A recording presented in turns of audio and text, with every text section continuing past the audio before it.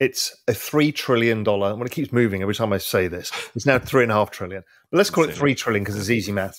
Three trillion dollar asset. It goes to a hundred trillion, at least within ten years. That's just extrapolating out the trend rate of growth. So here's this big wealth generating machine, the fastest growing asset, the best performance of any asset in history, keeps going. We get to 100 trillion within 10 years. So we're only 3% of the way there. Think of how much wealth this is going to generate for humanity. I'm saying $97 trillion. Let's assume you think, and probably rightly so, Raoul's an utter moron. I'm going to halve it. That's still 50 trillion, which is 100 years of value accrual of the S&P 500. Real Vision founder and CEO Raoul Pal believes the cryptocurrency market will grow from just above $3 trillion today to $100 trillion by 2030, more than double the 100-year value accrual of the S&P 500 in only 2 decades. Pal describes the cryptocurrency industry as the biggest opportunity available to all categories of investors in the history of modern finance, a complete restructuring of the finance industry and the overall global economy. Pal believes 2030 will be a pivotal turning point for the global economy, ushering in what he calls the exponential age or economic singularity. He predicts a transformative era where high tech innovations, particularly in robotics and artificial intelligence, will rapidly disrupt and redefine every facet of human life. Contrary to predictions of a total collapse of the global monetary system by sound money advocates, Pal argues that a new monetary phase is already being designed, allowing governments to buy more time and ensure a smooth transition. Pal's thesis centers on the idea that AI and robotics will fundamentally alter productivity dynamics. He highlights the world's worsening debt crisis, compounded by aging populations and declining productivity. In his view, traditional methods of economic growth are insufficient to address this challenge. However, he sees AI and robotics as revolutionary solutions. According to Pal, this technological transformation will fundamentally shift global economies without requiring a catastrophic collapse. Yet, he warns that by 2030, the world will be almost unrecognizable, rendering many current economic models and investment strategies obsolete. Pal emphasizes the urgency of leveraging opportunities in the cryptocurrency industry over the next six years to prepare for the seismic changes of the exponential age. The renowned analyst discusses his thesis and predictions in a recent interview with Blockworks Macro. Before we dive into Raoul Pal's fascinating insights, please take a moment to like this video, subscribe to the channel, and turn on post notifications. Your support helps us bring you more valuable content. Thank you, and enjoy the video. Well, I've said this. I think we got six years to kind of A, our future, and B, before the economic singularity happens.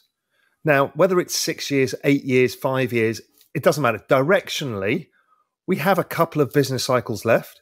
Arguably, if it wasn't for COVID, we might not ever be able to have recessions.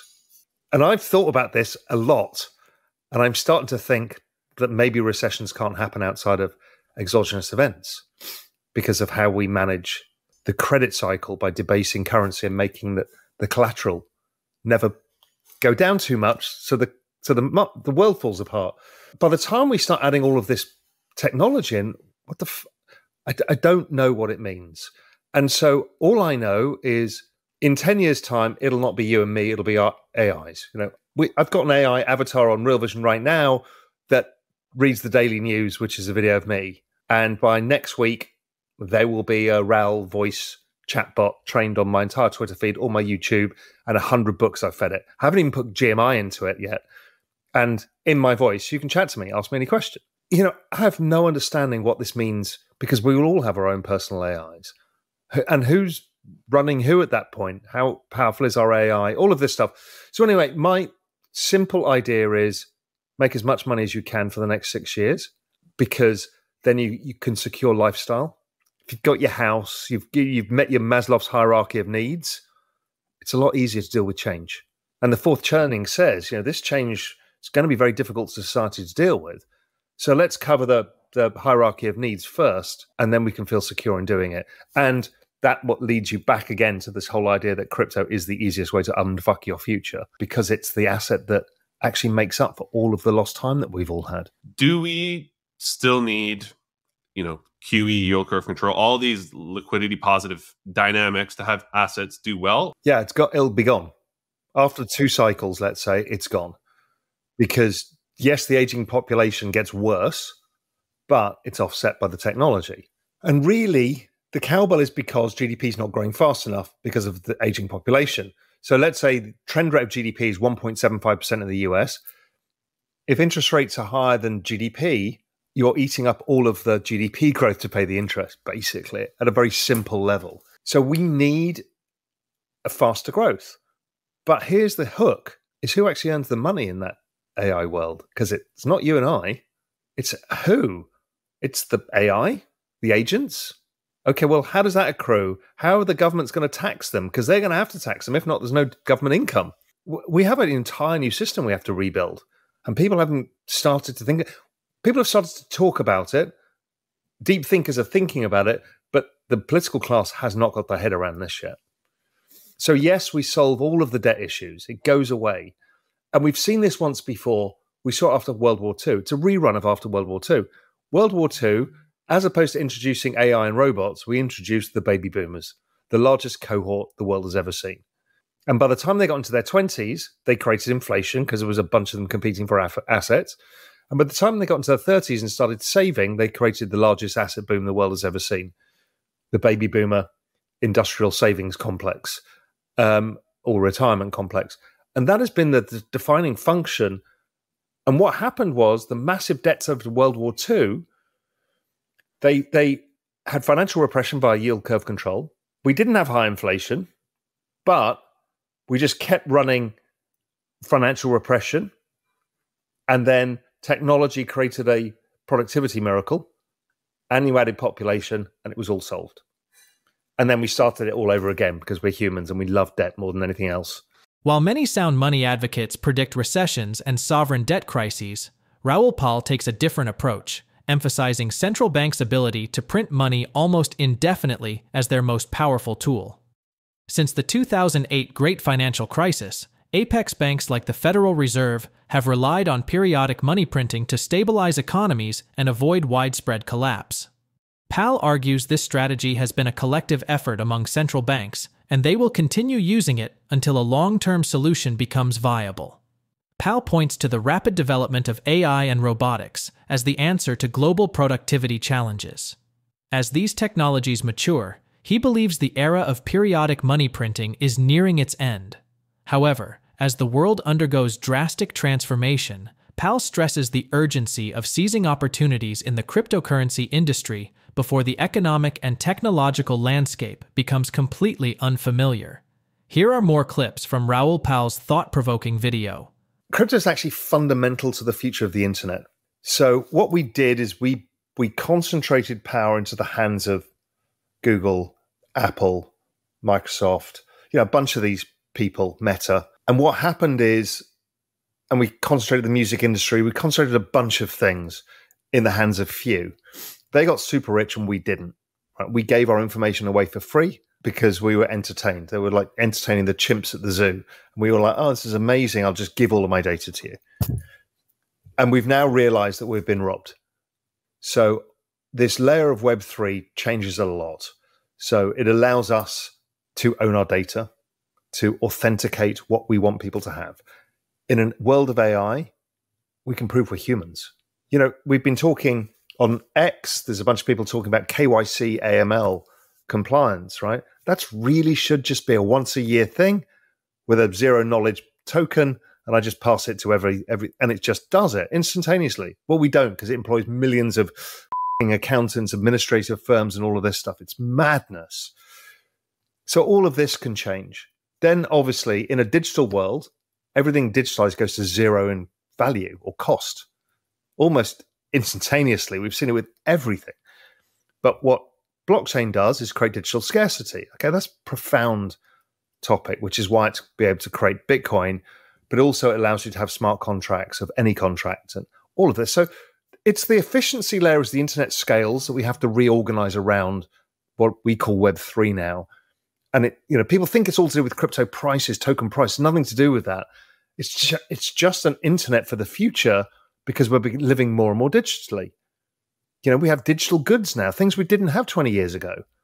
Now, so this becomes very important. Instantaneous contracts and everybody's around the world. I mean, 20 years ago, you and I couldn't do this. We'll be on a phone with each other. Right? It's just it's it's happening so fast. So crypto is that, but it's also the efficient rails for the financial system, just at simple level.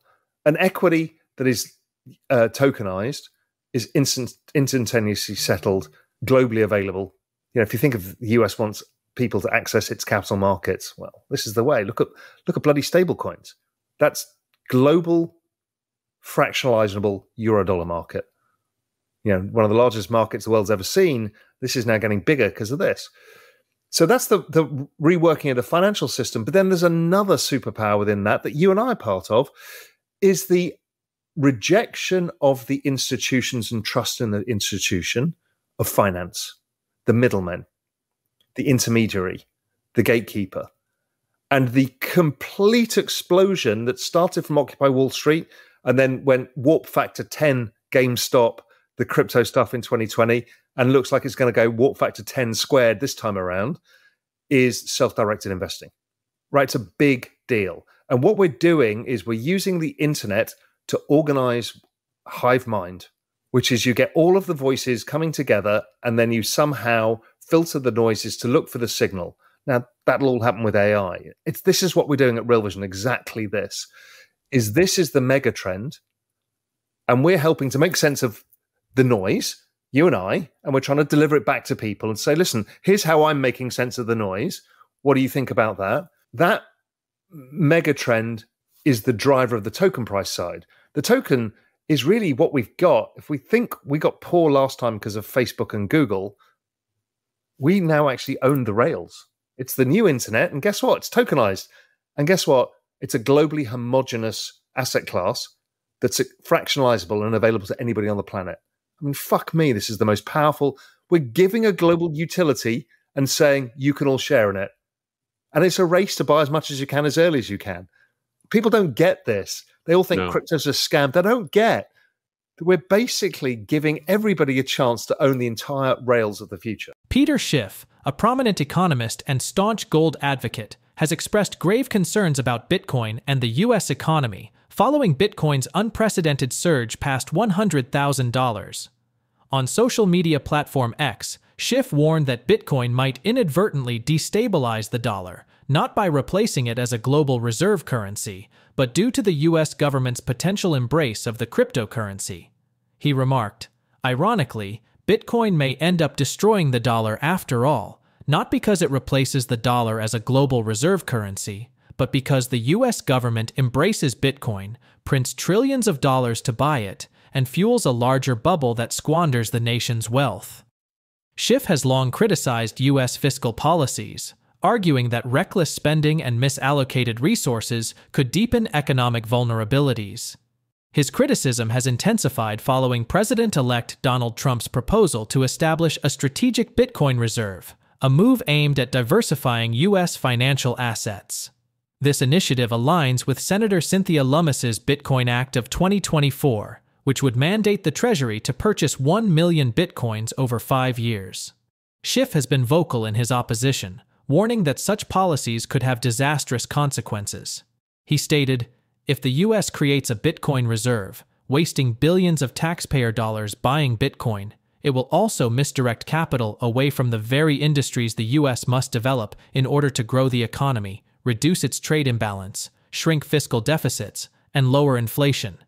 Schiff has always been anti Bitcoin, a stance he has maintained since the leading cryptocurrency was less than $10,000 per coin. Today, one Bitcoin is over $100,000, and it's no surprise that the gold bug is still so strongly anti Bitcoin. However, the world is moving on from the old ways and embracing the powerful digital transformation the cryptocurrency industry presents. Please share your thoughts on Raoul Pal's predictions and Peter Schiff's remarks about Bitcoin destabilizing the dollar. If you've enjoyed this content and want to see more, hit that like button. It really helps the channel grow and reach more amazing people like you. And don't forget to subscribe and turn on the notification bell so you never miss an update. Your support means the world to us, and it keeps us motivated to bring you more exciting content. Let's grow this community together. Thank you for being part of the journey.